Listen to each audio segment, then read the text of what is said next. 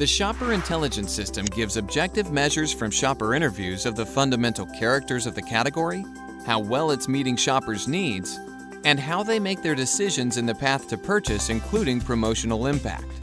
The second section is shopper satisfaction, where we measure if a category gives shoppers what they want, identifying improvement opportunities. Considering various measures of category management effectiveness, shoppers tell us what's important to them in the shopper satisfaction section.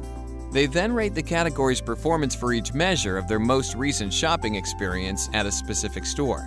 Combining these category metrics tells us how well we are doing on what matters most. Our metrics include price and promotions, choice, availability, innovation, and so on.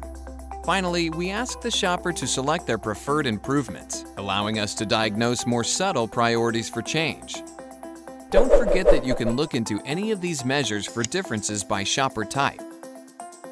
For example, by major brand or product segment bought, demographics, shopper mission, trip spend, and so on. We also track change for each category and retailer from year to year. We can benchmark a category to others in the same aisle or others competing for the same need, as well as to the norms for the department or the total store. You see where your category ranks compared to all the others. We can also compare across channels and banners to see how to best fine-tune your plans to suit different retail environments.